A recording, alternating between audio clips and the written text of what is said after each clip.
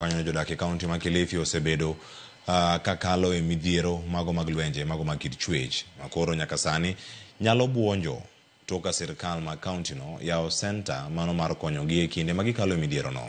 Sirikal mar kaunti ma Kilifi obiro kanyakla kod riwruoge mamoko mondo mi giger senta no.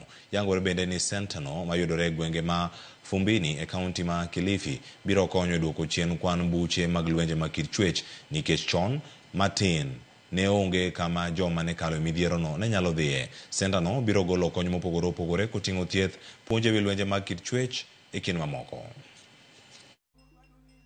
Kilifi County has been identified as a GBV hotbed in Kenya, with 30% of the population affected by some form of GVB.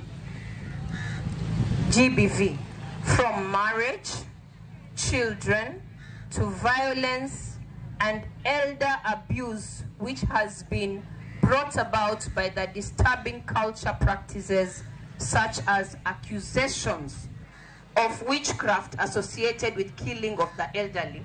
That is why we need to have a rescue center in the county. We've started with the first one.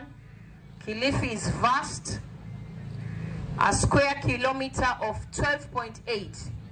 And we believe in each and every sub-county, we are going to realize this.